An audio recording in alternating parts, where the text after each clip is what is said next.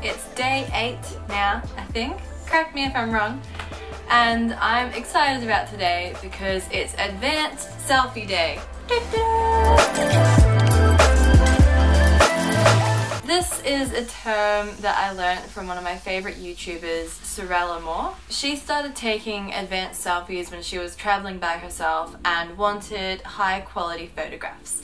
So pretty much what I'm doing today is a full-on photo shoot with my good quality camera, tripod, I've done my makeup, I've got outfits planned, I've got locations kind of planned, and I pretty much do the entire photo shoot as the photographer, director and model all myself. This appeals to me because it's kind of a good way to step up your Instagram game a bit. I also think this might be fun to do with my band and save us money on having to hire a photographer and I'm mostly interested for it because I am on both sides of the lens. I do photography, I also like showing off my outfit through photography.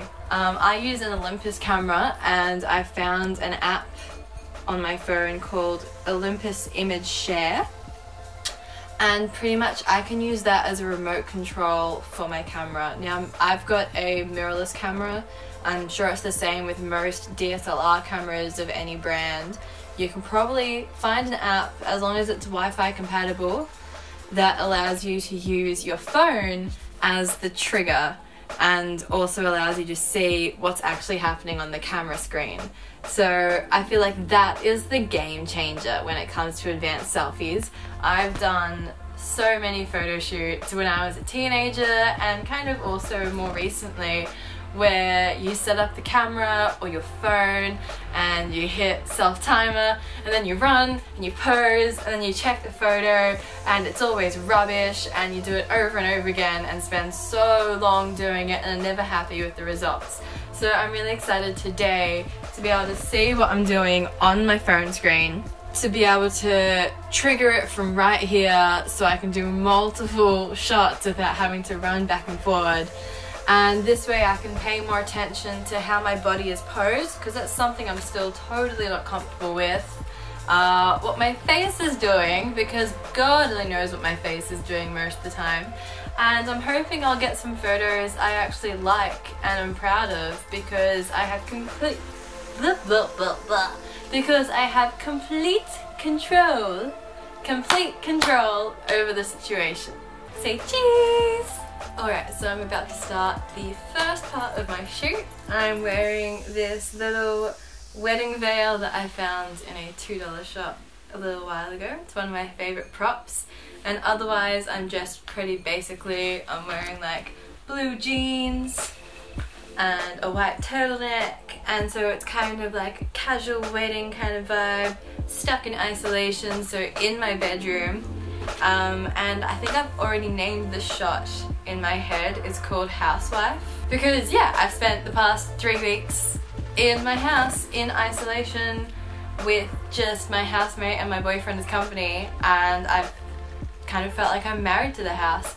But it's a very loving marriage because I've been cleaning it like crazy and I'm really proud of how the house is looking and so yeah, this is my wedding photo to my house because I'm now a housewife. Anyway, I'm gonna get shooting. Hopefully I get the hang of using the remote trigger and hopefully I get some shots I like. I really wasn't happy with how the first shots were turning out. And then I turned off my bedroom light and just used the tiny crack of sunlight that was coming through my door. And suddenly everything was amazing and I got a whole heap of portraits like this. I only had about half an hour before the sun went down, so I didn't get a wide range of shots, but I was still very happy with the results I got. Hey everyone, it's day nine, I hope. And today's new thing is the to do not list. If you're anything like me, you live off of doing to-do lists. I have done to-do lists for as long as I can remember the concept existing. I do them for pretty much every day, regardless of whether or not I have work things to do. Sometimes it's literally just get out of bed, get dressed, wash your hair, that kind of stuff. I also have huge to-do lists for the future. I have weekly to-do lists where things get moved from one list to the next week to the next week. I love my lists. And sometimes I find them very, very helpful. I don't think I could live without them, but a lot of the time they cause more stress. You just see this long list of stuff that you haven't done at the end of the day. You keep putting them off. I've had make a website on my high priority list for the past like 13 months, I think, and I still haven't done it. And so while I've been watching a lot of uh, productivity content, one really interesting thing I came across is the to do not list. I have a quote from Tim Ferriss, kind of the ultimate man of productivity, where he says, What you don't do determines what you can do. And I think in its simplest form, that's what gives value to the to do not list. You write down things that you shouldn't be wasting your time on, that you don't want to do yourself, maybe somebody else can do, anything like that. And that enables you to have the time to focus on what's really important. So I've decided today to make my own to do not list of things that I find myself doing most days but I know I really shouldn't, especially if I want to get stuff done. I've also made a regular to do list for me today as well, and I've put quite a few things on it because I'm thinking if I stick to my to not do list, I might actually have more time and therefore be able to get more of my to do list done. My to do not list, or to not do, I just titled it do not do. I found that they were pretty much all of my barriers to having a good day.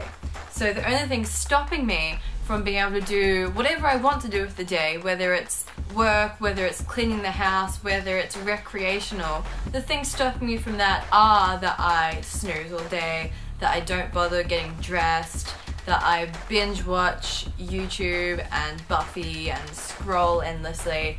And if I'm not allowed to do those things, if you actually make it a rule, write it down, say it out loud that you cannot do those things today, then you actually get the stuff you want to get done done. Oh, hey, Theodore. You sitting at my desk? The only problem I think with it might be if you wake up in a particularly bad mood and you just don't want to respond to any kind of authority or rules and so you look at this list that you've made and you're like nah i'm going to make it a point of snoozing and staying in my pajamas and watching as many episodes of this show as i can um, so i feel like if you wake up in a really bad grumpy mood maybe the not do list is not something you should do. But otherwise, if you're just really wanting to enrich your productivity, I reckon try this one. It's something completely different and, you know, if you like having little boxes to tick, why not? Give it a go.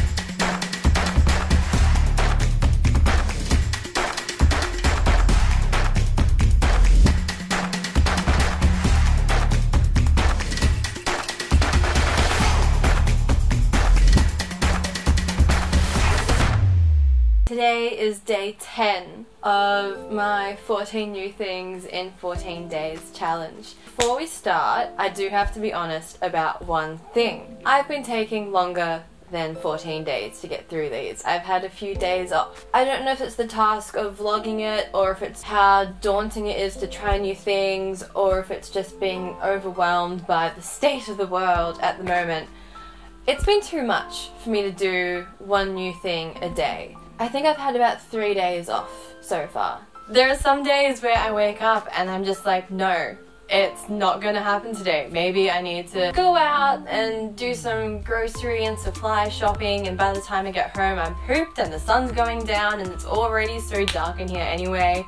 Or there have been some days lately where I just wake up and I can't. Like, I'm just kind of sad part of me is like, no, Haley, you have to do something. It's only one thing. Surely you can manage it.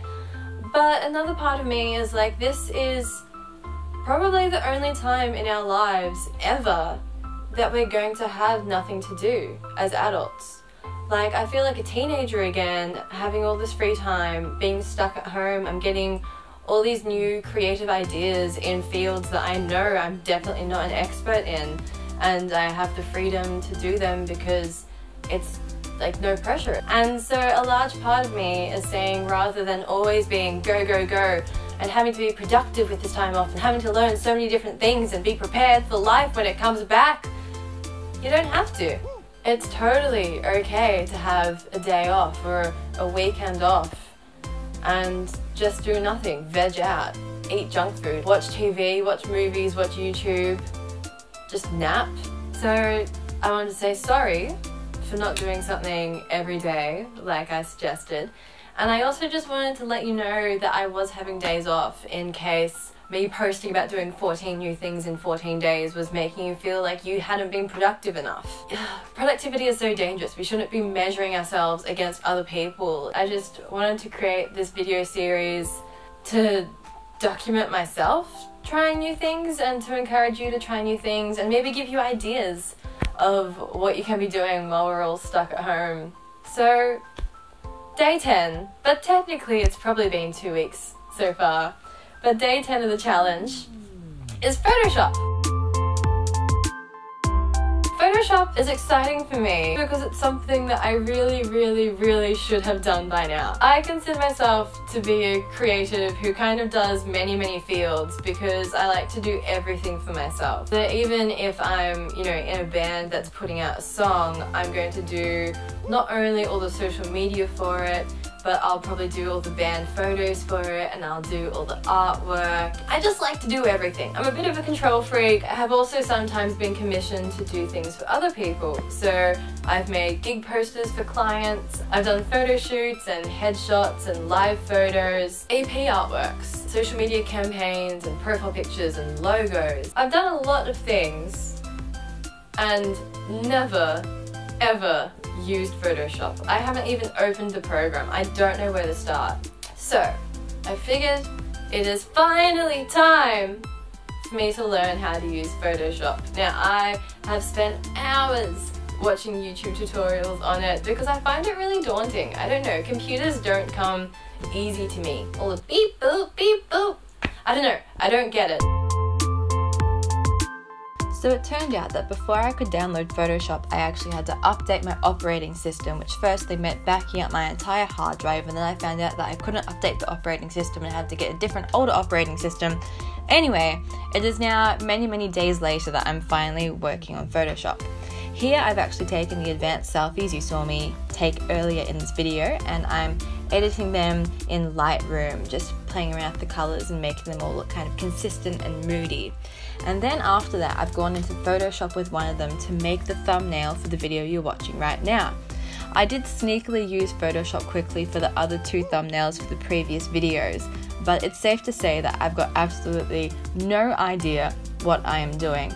I find some things very intuitive with it, and some of it makes absolutely no sense to me, and I keep mucking around and messing everything up and undoing everything, and I've got a lot more learning to do, but I am really excited about all the possibilities and creativity that Photoshop lets you explore.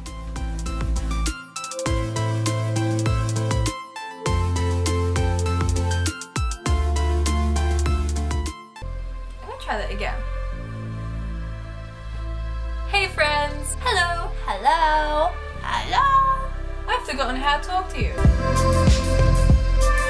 It's day 11 and I just almost got started without you. Um, today is Tai Chi day and I'm not going to pretend I know anything about it because I don't.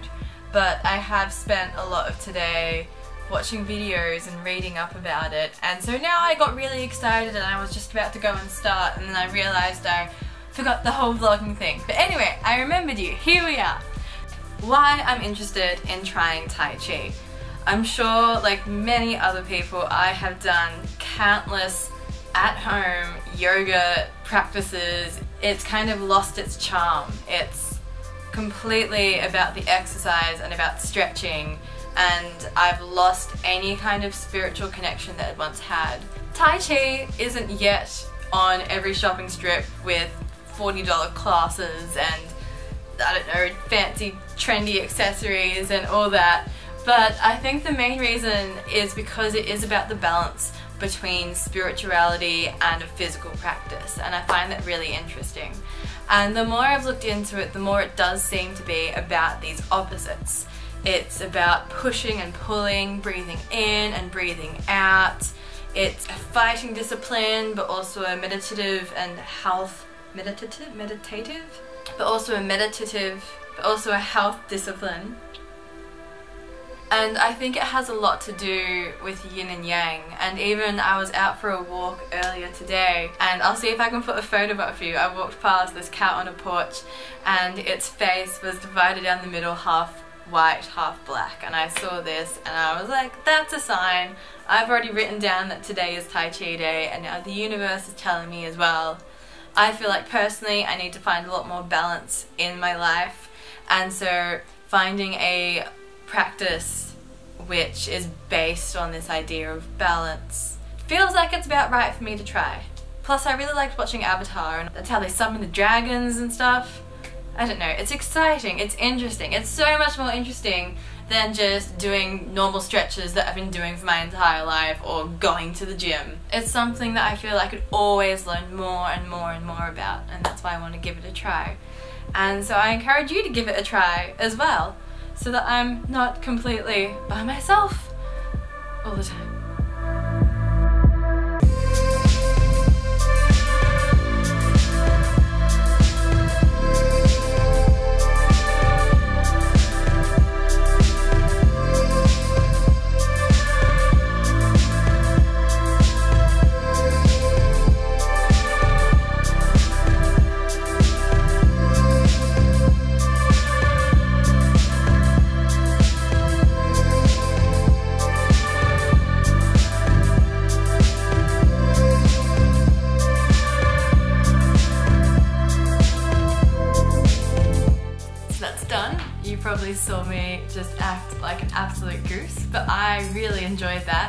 I did ballet for 14 years as a kid and I really enjoyed that because my favorite part of ballet was always the port de bras, the carriage of the arms. And that felt very similar. It was just about flowing between different positions and it was quite challenging too.